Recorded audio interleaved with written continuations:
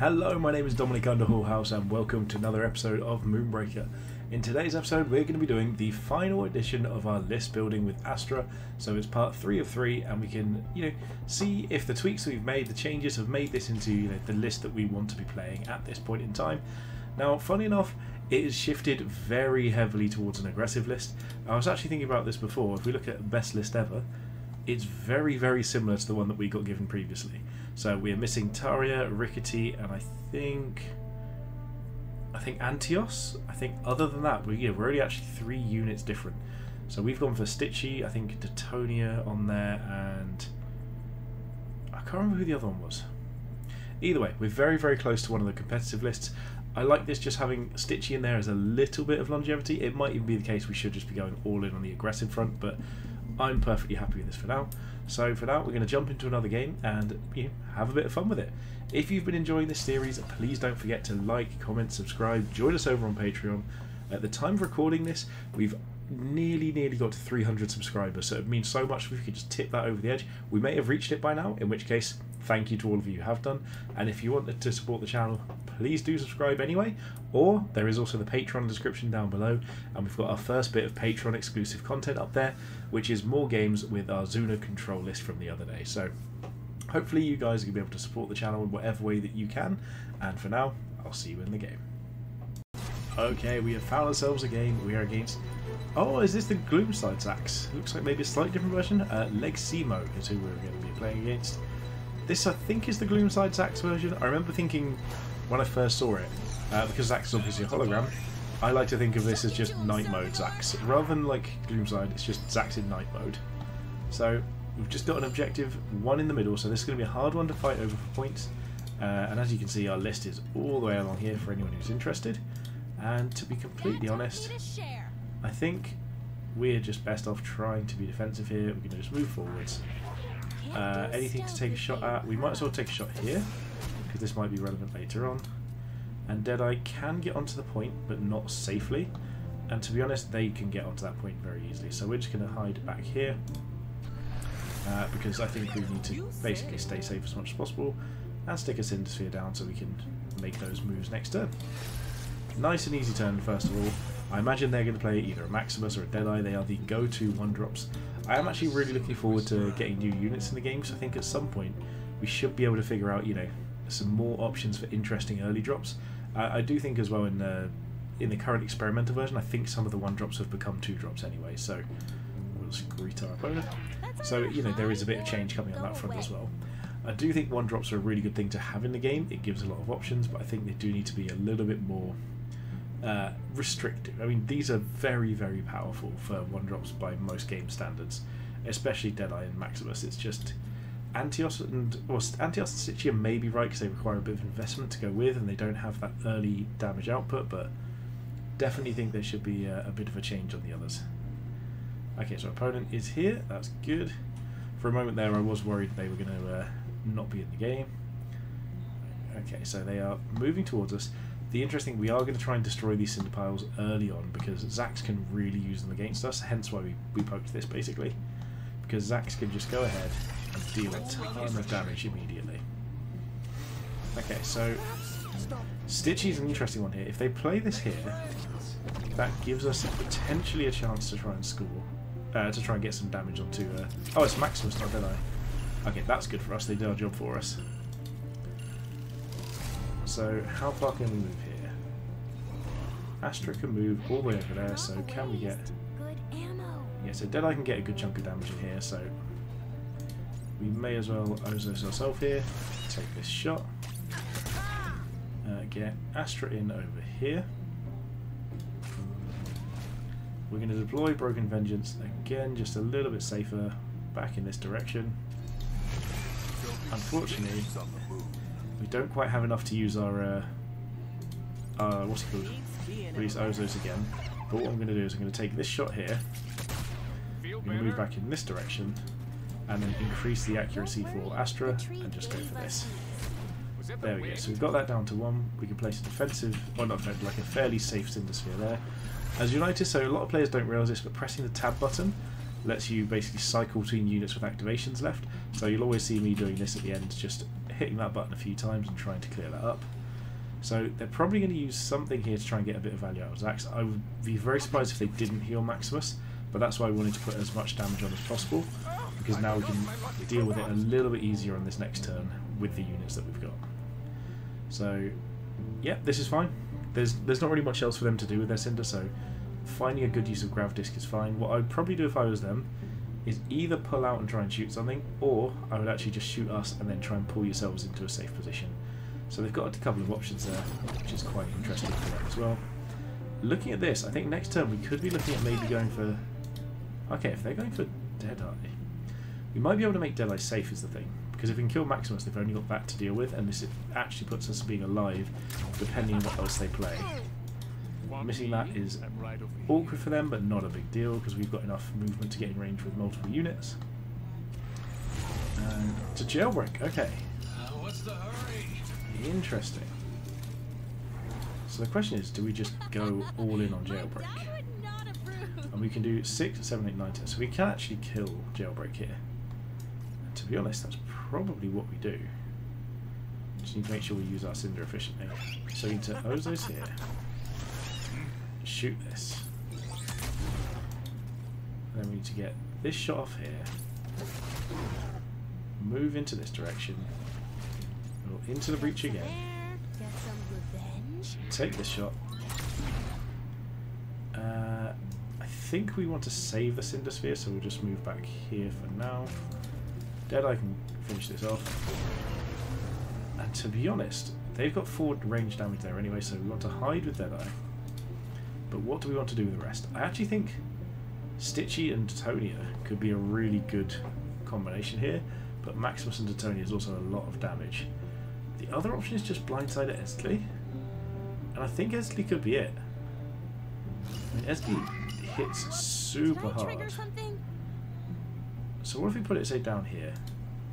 Somewhere just slightly out of the way, relatively safe. I want to try this out. I don't know if this is the right call, but if we can say, use our Cinder, move on to Astra, activate, move again, between the two of them they can just one-shot Maximus on his own anyway, and we've already got other units that could potentially do that if they're using their Cinder here, they can they can try and get us to take the Cinder Sphere, that's fine, but if they're just using this to try and get onto Deadeye, then I think we're okay with that as well. That's not even giving them ideal angles either. They're going to have to move all the way around this way with Zax to get too clear. Okay, so this is almost guaranteed. That's fine. So we are almost definitely losing Deadeye here. Zax has probably got a pretty reasonable shot as well. Yeah, 95. 1 in 20 they miss. But that's a very aggressive positioning from them. So actually, if we spend all of our Cinder and still have this available, we can one-shot a couple of things here. We can actually do a ton of damage. If they deploy behind Maximus, we can probably kill Maximus. Oh, they can't take the Cinder Sphere there, so he is fine by us. That's their own instantly. So if we can spend our Cinder well, we can deal with this. Yeah, that's fine. This is good for us. I like this. We can kill Maximus and potentially kill Esli as well. So we need to spend our Cinder first. So, oh no, we don't have enough ways of spending it. Oh no, we're actually going to struggle here. That's really funny. We've only got three ways of spending it because we lost our Deadeye. So in that case, how do we do this? So this we would chain back and forth. So if we hit here first, then we've got three and three. What if we just did this first? So came here and shot. We'll shoot here. We'll into the breach. We'll do we have the range for this? No. So here we have to go for the chain. So we are going to take six back, which is really awkward. Because we can't quite get with this. We're going to need to protect that somehow. I don't know if we're going to have enough resources to do so. So they've got Stitchy back there, so... Uh, let's go with Drum Dance Italy and just try and block some of this up. Place the Cinder Sphere down, and also just place ourselves into Tonia over here and we'll move blindside Esli just straight up in this direction. Again, this is awkward. They've probably got fairly reasonable lines of sight here, but it's better than nothing. Yeah, they can just try and get onto Broken Vengeance fairly easily. But we've got a lot of units here. We've got well, we've got four to their two. They can kill one of ours fairly easily, but I do think they're going to be able to do so here. Also, them stealing the cinder from us doesn't really matter. It was all just here to make lines of sight awkward. But if they can just move into this little gap here and get it, then that's fine. Uh, mine's probably not the right choice. There we go. That's where they want to be looking at.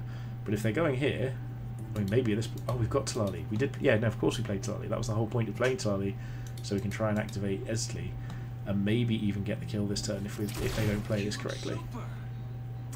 So are they going to try and go for Broken Vengeance here? They are. Okay. So can we get an angle where everything can work here as planned? Because if so, we actually have lethal here, if our opponent hasn't realised that yet. So just don't place the mine there, no. Oh. Uh, if they're running away, sure. So maybe they do know. Not a waste. Good ammo. So how do we do this? Your adrenaline roars. Let the sun ignite your fire. Okay, so if we just pop over to say, Got a how far can we move? I think if we go here, we should be able to get onto Astra. Onto this. Astra. Yeah, we can. Okay, so we're going to pop over here. We're going to attack here. Astra will take this shot. Go into the breach. We're going to come over here. We'll go for a big chunk of damage there. We'll take a chunk of damage into here. And then we run and hide with that. Uh, can just come and hit this, I think. I don't think we need to do anything extra with that, and then maybe just move in this direction. And Detonia doesn't really have anything to do, but we just want to try and put a bit more damage out here. Honestly, I think we're going to just go with Maximus over here and Amplified Vital as well. Just somewhere over here. Uh. Astra can move, so I think we're going to move over here and just try and block movement avenues. And Tony can just spread out in this direction. Sure. So their shrapnel's going to be able to do a good amount of damage, but we've got so much pressure onto them here. They've got six potential damage, so they can't actually even kill Blindside Resley if they go for it. So in theory, we should be able to finish this this turn. Okay, they've got the heal. Esley's going to be able to hit for 7, and then we've got 4 here, 3 here, 2 from Detonia. Yeah, they have to kill this as well, so if they don't kill Shrapnel, then they can't win anyway. Maybe they want to try and move block or grav disc, but we've got a huge amount of movement here that might just make it work. We can e- obviously the double activation of this. We've got a few routes into trying to go for victory here, so Ooh, flurry, okay. But if they don't have anything else here, depending on where they place a mine, the mine could be the big difference here. Because if they have a mine that can block us in place, Grav Disc I don't think does it. I think they need to try and...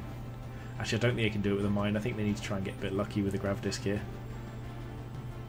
Yeah, I think this is going to be a struggle for them. Uh, I think their best bet might be trying to drag Grav Disc behind here, but again, we've got so much movement. Yeah, mine it is, but that's not going to do the job. And I think we've uh, beaten our opponent. Oh, if they could have enough movement, they could have potentially gone here. So, we need to basically trigger as many things as we can to make this work. So, we send Bytel into here. Maximus in here just to chip away all the damage that we can, and move a bit further this way. We're going to move. Uh, Astra can move over there, so that's fine. We're going to move into here, go for 4 damage. We get Astra into here, go for 2 damage, into the breach, 4 damage, and clear this all up. There we go.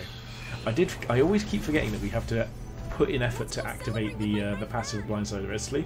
It used to be the case that you know it's just fairly easy to achieve. Now it's much more difficult with the units you got, but that was a fast, fast win.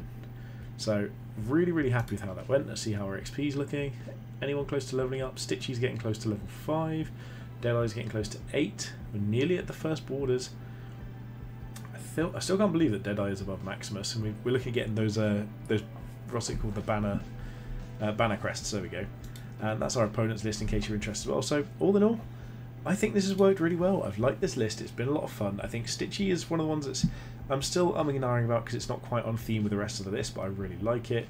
Detonia, again, useful, but we don't always have the spare Cinder, and sometimes we have too much, so it kind of makes this sort of combo awkward. Clally and Estley, because if we can't get Estley all the way up, but then sometimes it still just hits for 3 damage with Pummel if we go for it. So I think that's a good list. I think you guys have hopefully... Ooh, account level up hopefully like learned a little bit about how I like to build Astra lists.